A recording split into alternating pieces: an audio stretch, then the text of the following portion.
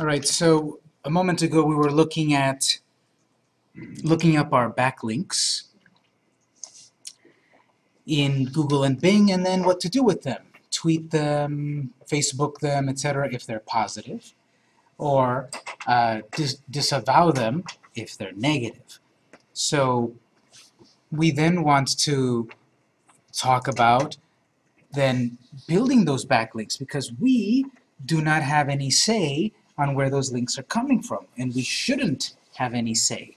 We don't want to create 10 websites and link, link them together to increase traffic. That is a link building scheme that the search engines frown upon and therefore will penalize you if you engage in it. So I'm going to pull up here the, the book that I recommend and skim through a couple of excerpts specifically about enticing backlinks, getting backlinks. So you can see in general the the chapters of the book here, but I'm going to jump over to the section.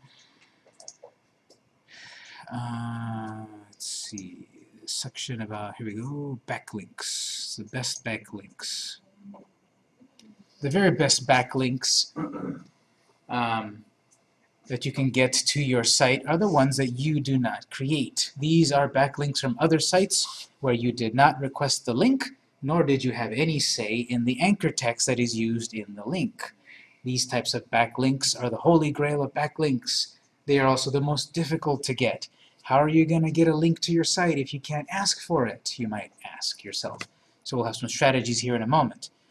But the, in the old days, we would have a website where one of the pages was, was dedicated to links. It, it was the link ring or the link exchange. It was a page that was just about links. And in the old days when, the, when Yahoo was the search engine that ruled, well, that was useful because then Yahoo or the other search engines could tell you know, the value of a website from the links.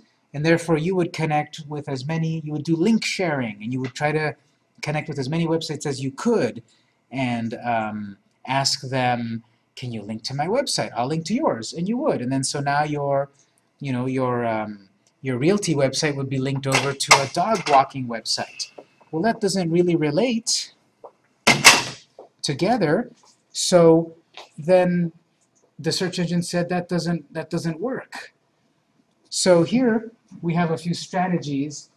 We want to entice people to link to our website because of quality content. The best way of getting this type of link is to develop content that your visitors love and want to share. Develop content on your site that other site owners will want to link to. So if it's just a website about yourself, navel-gazing and such, you're a realtor and maybe you're showing off which properties you've sold and such, great, but that's limited appeal to people. What if you're a realtor and instead you're providing information, free information to potential customers that then decide to hire you? What if they see something like an infographic on your site? An infographic are graphical representations of complex topics. They are very popular items to share on social media. They are also often reposted on other sites. So it's better to show you what, a, what an infographic is than explain it. You've probably seen these already. Maybe you didn't have a name for it. You can see this. Let's go to pinterest.com slash Mosher13. This is one of my colleagues, former student and also works with my company once in a while. He's got Pinterest. He's a superstar on Pinterest, actually. And he shares a lot of great content. He's got a pin board here all about infographics. So it's better to show you examples than try to explain. Let's check this out. Pinterest.com slash Moshe13.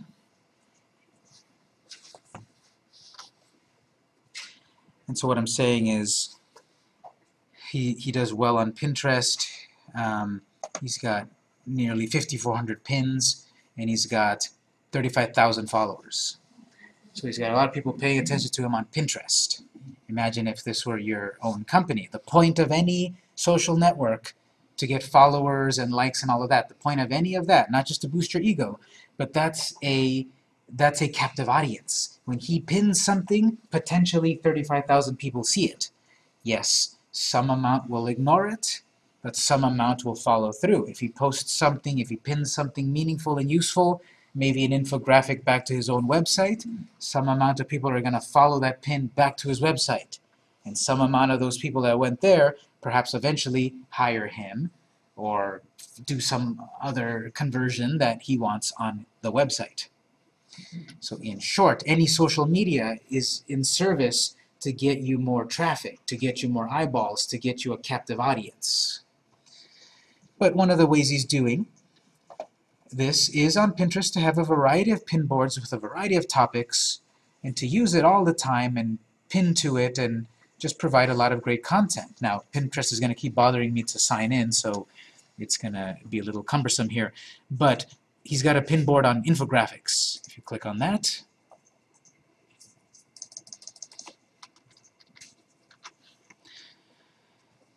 you will see these examples of um, infographics, which are basically graphical representation of topics that could be pretty boring, um, but then they're presented in an interesting graphic with colors and design.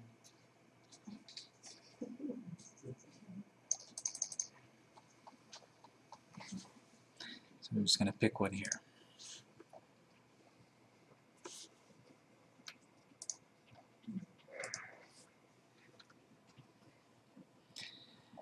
And so this one right here, um, email marketing, all the cool kids are doing it. What's the point? Aims and objectives of email marketing.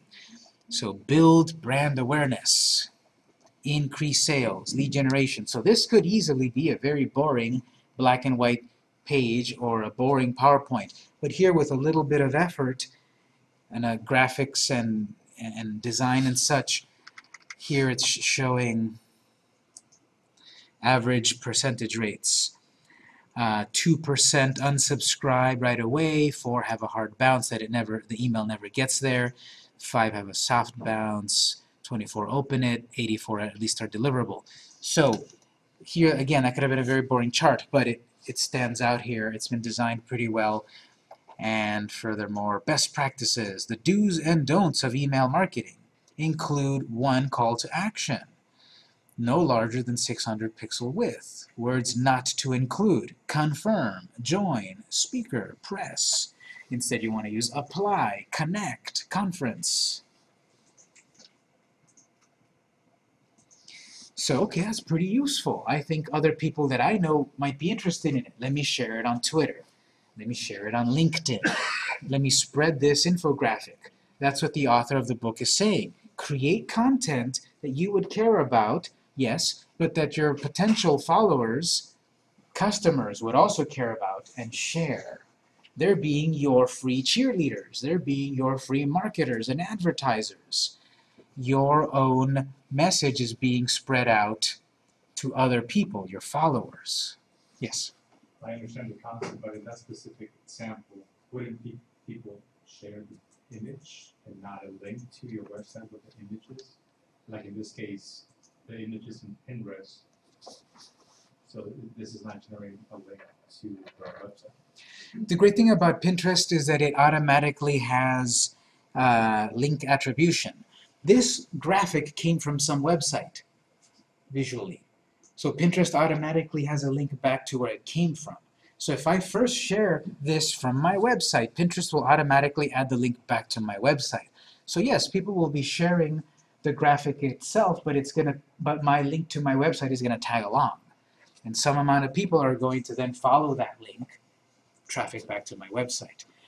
Other networks don't have that built in. Twitter perhaps doesn't have the link automatically back to the to the source. You could just have the graphic. Well, I'm going to design my graphic that somewhere I also mention my company, I have my address, and maybe it's not an active link. But if I've got victorswebdesign.com in the corner, some people will actually follow the link by typing it themselves. It's not flawless, but the, the other point of social media is to, to build this presence and this awareness and this authority. The more you tweet, the more you use Facebook, Pinterest, etc., the more you become famous and get traffic and all of that. So if you only tweet once a month, that's not as effective as once a week, once a day, uh, if you don't have Pinterest, and especially if you're looking for a certain demographic, At the moment, Pinterest has a very female-friendly demographic. So if your product is female-friendly, you should be on Pinterest. If you're looking for a more tech-oriented audience, perhaps Google Plus is a good one. There's, it's, it's a very techy community there. So if you're on the right social network, building an audience, sharing infographics and other content, that could then help you get more traffic. Yes. Okay, that's uh, great. Look, for example, you have a very basic uh, uh, website uh, um, for your business. So there's no um, really need to put a link to somebody else's uh, website or link from your website. You It's mean, better to go into your social media. um, so you're saying like from your website, you're asking if it's okay or not to link to someone else's website? Correct. Well, part of the, um, this will be touched on later in the book, one of the tactics of why you would want from your website to link to another website is because that other website will get a notification, that webmaster will get a notification. There's a new link to your website from x.com. So that other webmaster then might follow that link and say, oh, okay, this website is related, relevant, important, let me link back to them.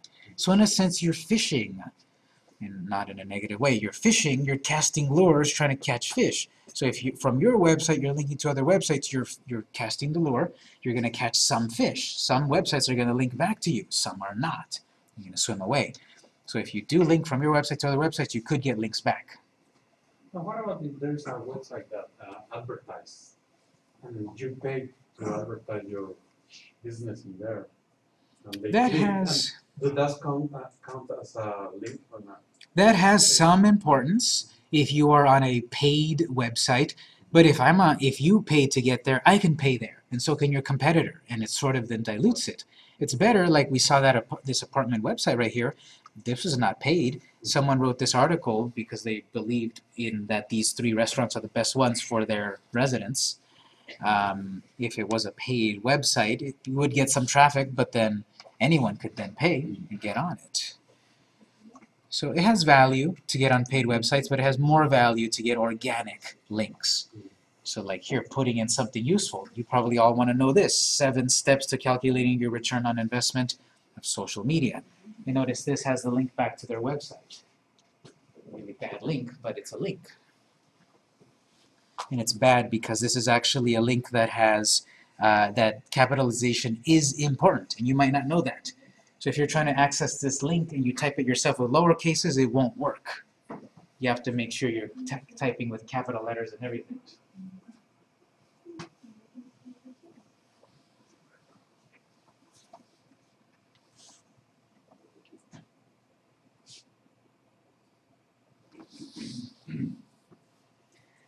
So here are seven more tips that you might find interesting in a nice infographic. And yes, the infographic takes the time and the effort to design well. And not all of us are designers. So the infographic might not be the best tactic for me to go for. It takes that effort to design. But you can look up infographic templates.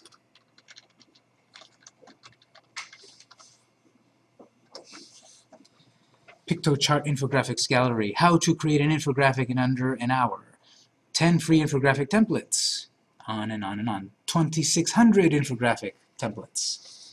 So, I just checked to see if I have infographics on my site, and I don't. yeah, they're not automatic. Yeah. You would, I was just checking on their, their company, Mhm. Agility, and it says infographics, but I did, you were a program, part of Agility, and it's crossed off, it says missing. That's something that you should that, that you should resolve because infographics are a, vi- a viable thing to help you get traffic. You can have a page in your website with some infographics so people can link to them. um, Yes, but I wouldn't make a I wouldn't make a page on your site called infographics. I would have a blog. I would have a blog and once a month or so put out some content like an infographic.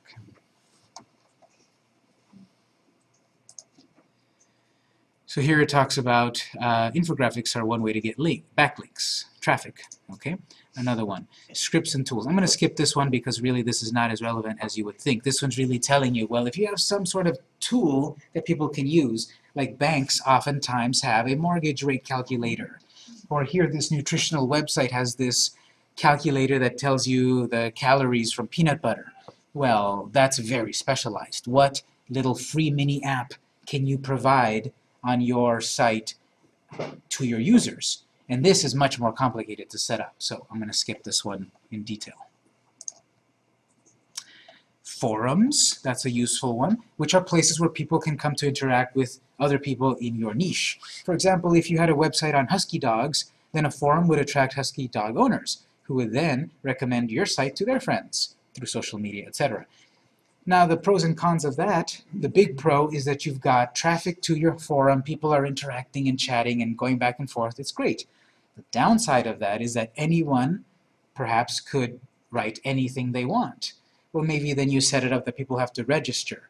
Okay, people register, someone's angry enough to, to flame someone, so they're going to register and then they're going to start trouble. Well then you have to go in and moderate and delete the bad comments and the spam and all of that. That's the pros and the cons, the double-edged sword of the forum, in that if you don't want it to descend into chaos, you need to have some sort of spam filtering system, or you have to have a human moderator that goes in and deletes the good stuff or the bad stuff. And that, I'm already running the company, and I've got to deal with these trolls.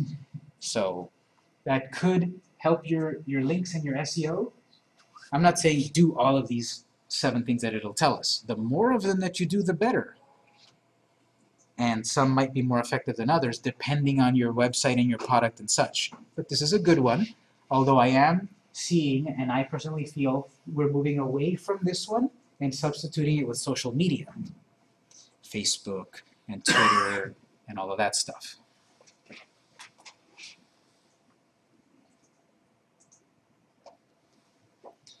Number four is a good one also, free downloads like software or PDFs. If you can give these away and people really do find them useful, your URL will be shared with their friends on forums or social media. So for example, on my company's blog, pmdinteractive.com slash blog, you scroll down a little bit and there's a free PDF download on choosing a good password. Password, online security is important, and therefore your password is important that it's, it's secure. If you're using the same password on your email, as your bank, as your online classes, and now you've got one of those things hacked, well now that password is accessible for all your accounts. So this free PDF download scares you about that, but then teaches you how to set up good passwords. So here in the blog, if you scroll down, here it is. A guide to using a good password. There's a PDF file. There's a little explanation, and then a, a PDF download right here, which then you can share on Pinterest or, or whatever. See, it's been shared on social media. The secret here is this was made in PowerPoint. This is a PowerPoint template that's built in.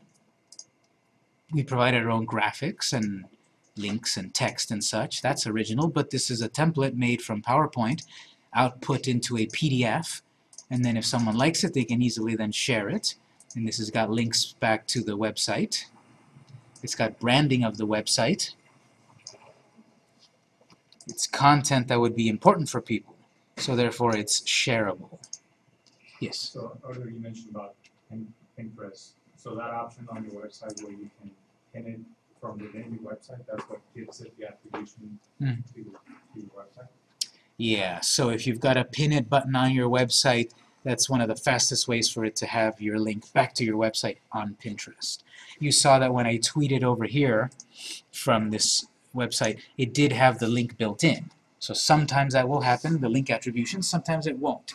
You have to take the effort to make sure that your tweet or your pin or your Facebook post has some link back to your website.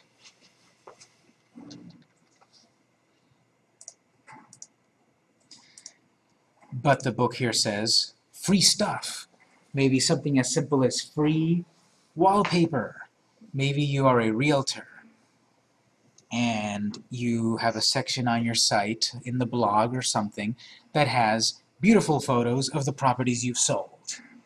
If these look nice on a person's computer and there's a button that says free download, they'll download it, but even better, your logo's in the corner. So they'll be staring at your logo in the corner of that beautiful photo all day long.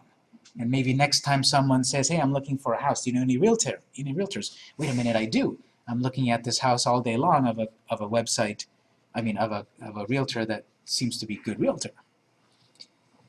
So that free stuff comes with, you know, the branding and the mind share of your company.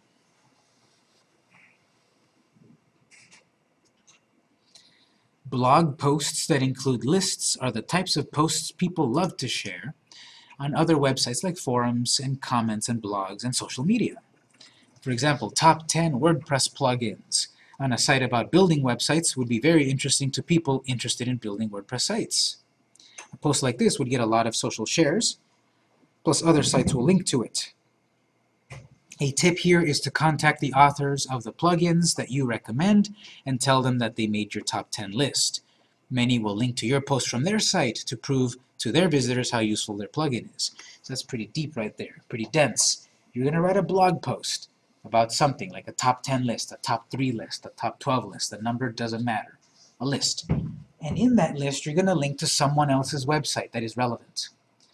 You're going to let that other website know, either on their comments or on Twitter or whatever, you're going to let that other website know that their website has been linked. They're going to then take it, oh great, my website was worthy enough, useful enough. Then you might get a link back to your website. You might get a shout out on Twitter. You might get a, a Facebook link. So that's the social in social media. It's not a dead end. It's not your stuff on your website. SEO. It's also the SEM. What are you doing outside of your website? And I can show you here on our site, on our blog, for example, so we've got some stuff about blogging. Um, this this post over here has some shares on social media, but then it also has uh, a comment over here from Cheryl Jones, uh, and then a link from another site and another blog post and such. So someone then linked to this blog post, and her name is an active link back to her site. So she's getting some traffic from our site.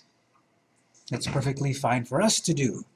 If I'm doing a blog post on WordPress plugins, I'm going to do a little research. Who else has written about WordPress plugins? I'm going to find a, someone else's site and comment on their blog post. You often have the ability, when you comment, to add your address. Take advantage of that. Then your name will be an active link. So see, that's going back to CherylBlogs.com and some traffic is going to her site. And if I do this on someone else's site, some traffic will come back to my site from their site.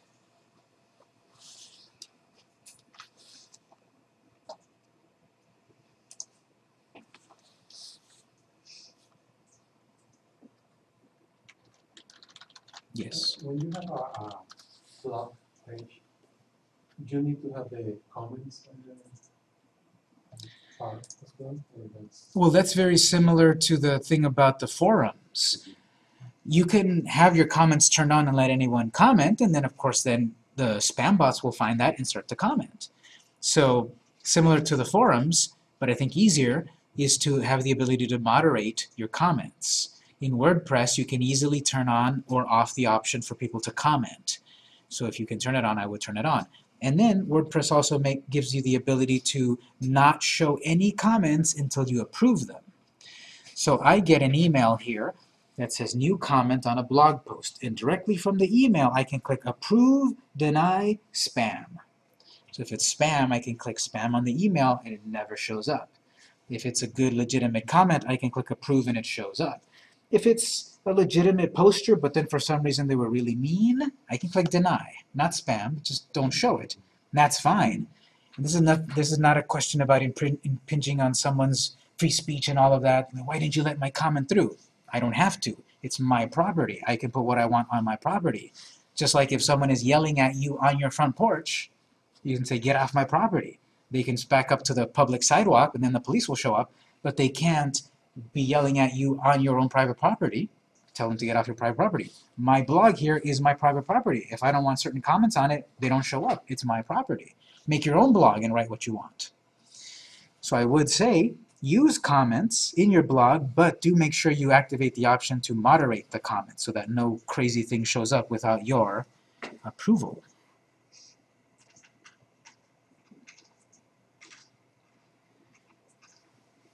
I'm just looking for examples here, uh, right here.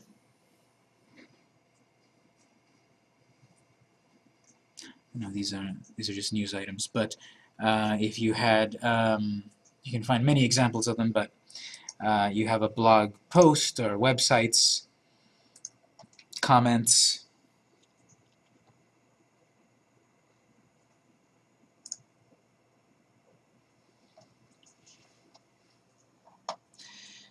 and if you have the ability to, um, I remember this one, uh.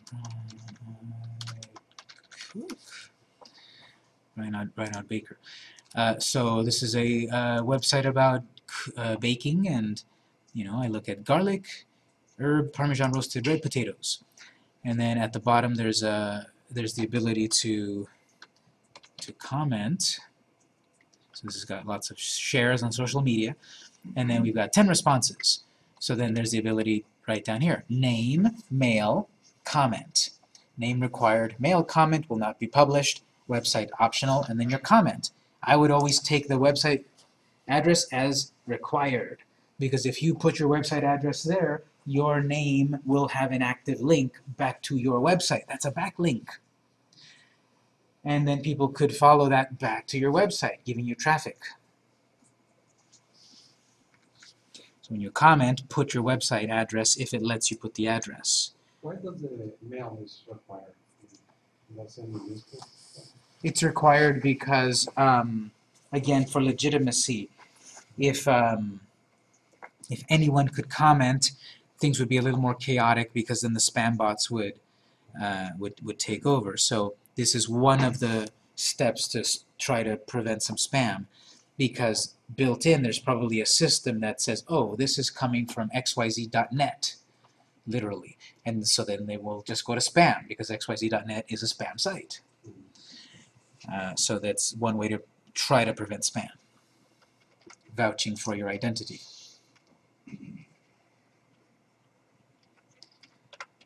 So if I had a, a website about blog, uh, blog about baking or cooking or whatever, I would want to find websites where I can comment and add a legitimate comment, like um, you know, Robbie here said, uh, uh, I'm on this. Okay, once the temperature drops enough that it doesn't seem insane to turn the oven on, these look so good. I may even give in before then. So you try to add comments relevant to the blog post, and then simply by having a link back to your to your own website. Robbie didn't, but Sprinkles of Sweetness did.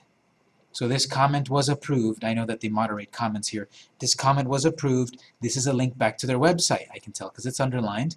That's not a link. That's not a link. That's a link. So that's got a backlink back to their site. That's one way to get backlinks from other people's sites.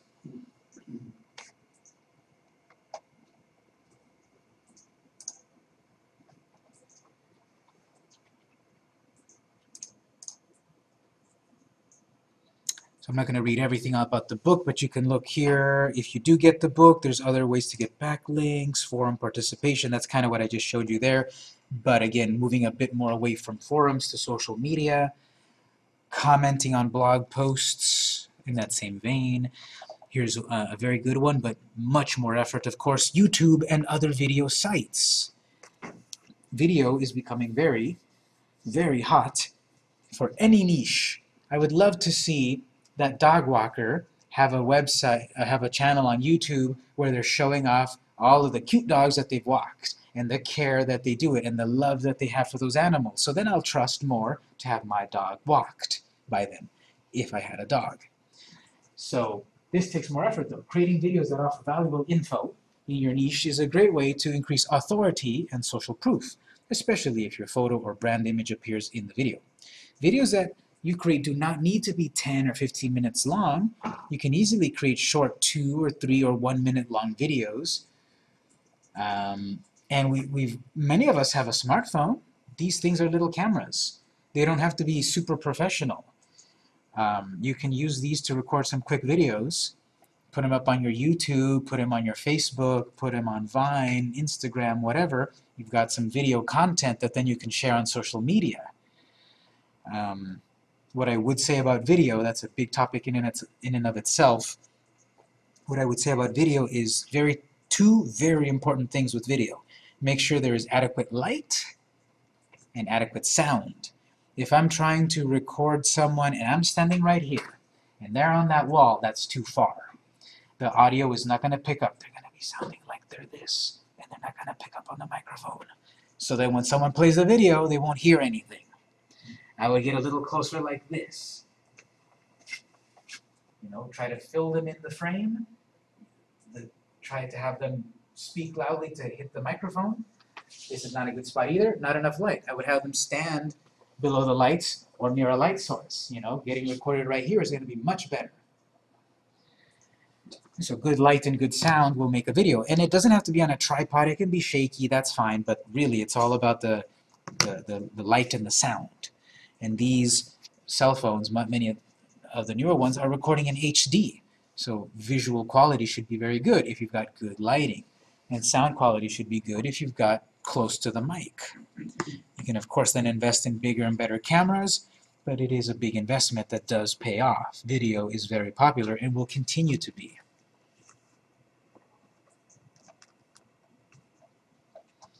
And so you're creating 30 second videos. That's something that you could do once a month. Put it out on social media, on your site, get fame, get traffic, get clients. In my social media class for the first time, I'm going to be addressing YouTube uh, on Fridays. We've got um, a social media class going on, um, part one and part two. Part two next month is the first time I'm going to be talking about YouTube. So if you're interested in learning a little bit about video production on Windows, because we've got Windows computers, you can take the class.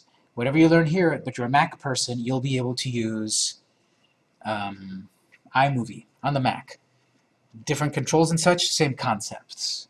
And I'm going to do that video class on YouTube for social media next month.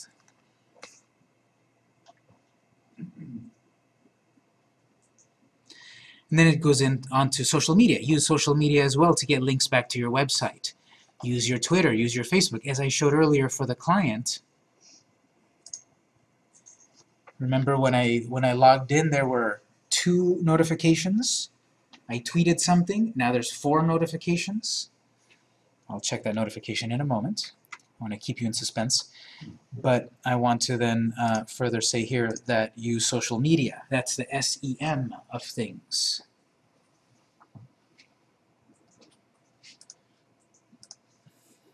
Blogs. You want content on your site, that's why people will link to your site. Therefore, you're going to blog. So I teach a class on blogging. Actually, it just ended this this Monday, did it? No, it ended last month. Things are getting jumbled up. But uh, I teach a class on blogging. A quick, a quick self-taught course on that. Oh, look at this. On our website, we've got the blog checklist, part one and part two. Part three coming soon. So some of the things I talked about in that class are found in these three blog posts. So visit our blog, pmdinteractive.com, and don't forget to share. I just posted this yesterday, so it doesn't have much traction yet. But once we ourselves put it on uh, on our Facebook and our Twitter and so forth, that will increase. Popularity breeds popularity.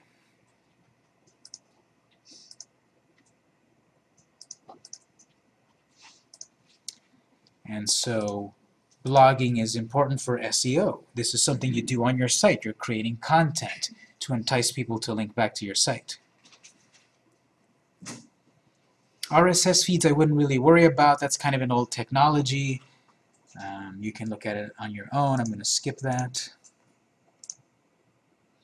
Site directories, that has its pros and cons, but I personally think that's getting more passe. That is also like an older style of web and SEO in that you would want to get on these websites that just were directories to other websites. And in the beginning, when there weren't that many websites and it was harder to find content, I would be subscribed to two or three websites about directories of content. Now I have a search engine. So I personally don't think site directories are as useful as they used to be. But you can um, still get in on a few key ones. What's a key one? You need to do research in your niche to find directories about your particular product. And then blogging is mentioned here, but this is guest blogging. Go to other people's websites related to your own content and blog for them. The reason you would do that is, I was just looking at an article earlier, I guess I closed it. Um,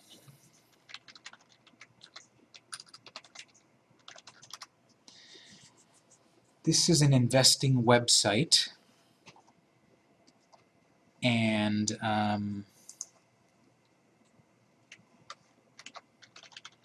it takes submission, oh this one, it takes submissions from a variety of, of authors and so for example this one, uh, Twitter just uh, released some information, uh, uh, investors didn't quite like the results, the stock went down. Well what's the old mantra? Buy low, sell high. So this author is saying now is the time to buy Twitter stock. It's not as expensive as it was. It's a low point at the moment, but because of these ideas here, Twitter's going to come back up and you're going to have value with Twitter. So Alex Pitti wrote this, and he wrote other articles for this website, Seeking Alpha. And so this is a guest blogger. The point of being a guest blogger is then you will have your own author page on their website where then all of your articles will be listed there at the minimum, and at the maximum you will have links back to your own website. So if you're guest blogging consistently on other people's websites or on a spread of websites, you will then start to build authority, you will then start to build a presence on those other websites, linking you back to your website. He's got a lot of comments, um, articles, followers, followers on this website, but then links back to his own website. His Twitter account right there. And um, his YouTube channel and his LinkedIn. So that's the point of guest blogging. It's free advertising. Maybe you don't get compensated from the website you're blogging, but this is close to compensation. Traffic back to your online presence through guest blogging. Yes. The uh, web blogging uh, area, does can you repost the blog? For example, the one you have here for the blog checklist. Mhm. If you were to post this on another blog, would this be considered guest blogging, or you have to generate a brand new blog? That that's a very good question, and I I don't have an exact answer. So the question is, if I've got my post on my site, can I repost it to some other site, or do I have to make a new one? That I need to educate myself a little bit more because I've seen examples. I just saw one the other day. Um,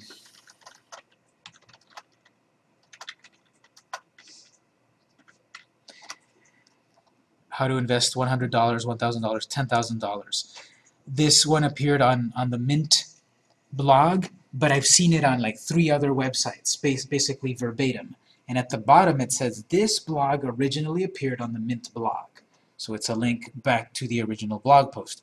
I don't know myself fully the value yet of having your website repeated exactly on multiple websites, but to me, from my knowledge of other aspects of SEO, I don't think it's as useful because the search engines don't like duplicate content. So I'm surprised when sometimes I see something like that duplicated. This I've seen this exact post on other sites like this. I, I feel from my research about duplicate content that that's not a good idea. See, it's the same blog here over at RelayRides blog. and it's the same one at listenmoneymatters.com. And I'm pretty sure all of these say at the very bottom, this post originally appeared on Mint. And it must get them some amount of positive SEO and traffic, but from my experience and knowledge, uh, having duplicate content is not a good thing. Basically, Google doesn't want, like if you're looking how to invest hundred dollars, Google doesn't want to show five links to the same content, correct? Yeah, but that's exactly what I saw here. I put in those keywords I know that are in this blog post, and it showed up five times.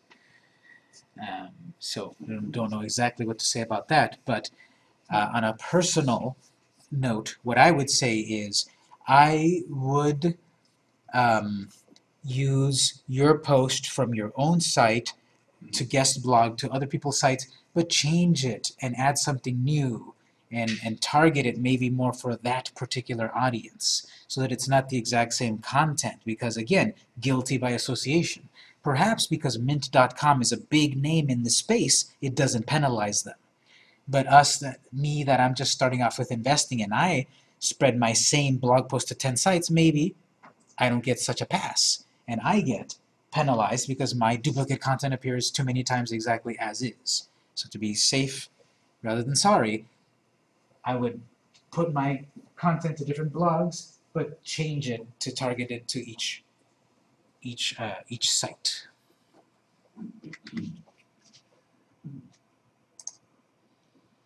So guest blogging. Finding guest blogs, it's just searching. For example, uh, investing, right for us, investing.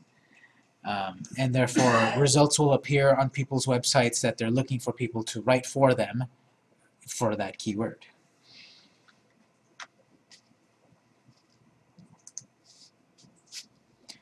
PDF distribution and PowerPoint distribution. So again, free stuff. This relates to the free stuff. What can you put out there to uh, to to get more attention for your own website? So here it mentions scribd.com or scribed, never know how to pronounce it, I'm going to call it scribd.com. Uh, this is a website where you can upload uh, PDFs and such. And it's one of the big names to share PDFs, uh, ebooks and such to a degree. Um, to, uh, I personally have not used it. I know it's been around a while. I've played with it here and there. You know, I think I have used it, but not enough really to say anything that useful about it. But I do know uh, from its reputation and such and content that it is a good website to share your content. It's like the, you know, if YouTube is the site for video, Scribd is the site for text, texts. Uh, in that vein, another one that I recommend is called slideshare.com.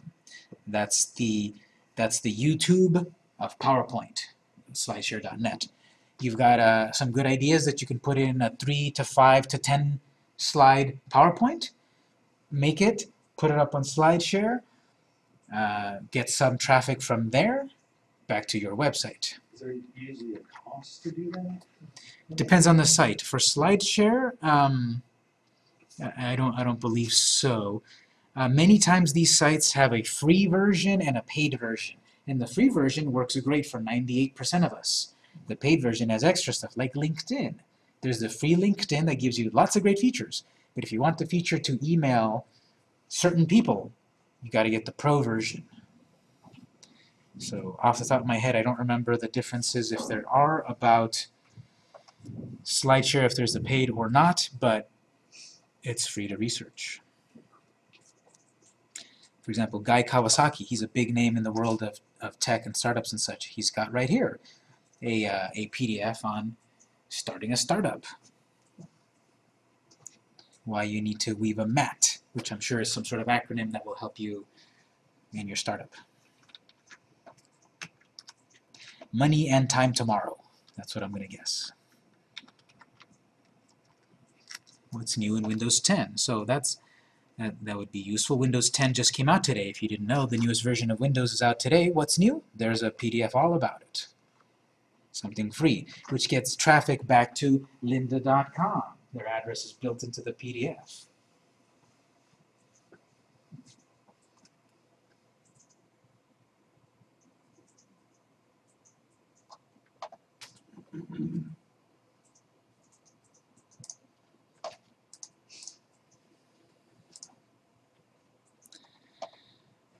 Um, one more quick thing again. I'm not going to read you the whole book. Uh, a lot of the things I'm talking about in the class are synthesized from the book. But when I said about hyping your links, uh, here they're calling it backlinks to backlinks. So basically, you find these quality links that are going to your page. You link to those quality links. You put it on Twitter. You put it on your blog post or whatever. Which then goes on to say, well, what about bad links? What do you do with bad links? Well, bad links are bringing down your site. So then it talks about disavowing, which we already did. So I'm going to end there talking about excerpts from the book. Again, it's about $3, $4, the digital book. You can get the printed book. Actually, I believe the first book and the second book are sold in one bundle for like $8 if you want a printed book. I like the digital books because you can access them on any device. You don't need a Kindle reader to read Kindle books. You just need a smartphone, the app, or your web browser. I've got them loaded up here on my web browser. So any questions on the book or any topics we've talked about so far?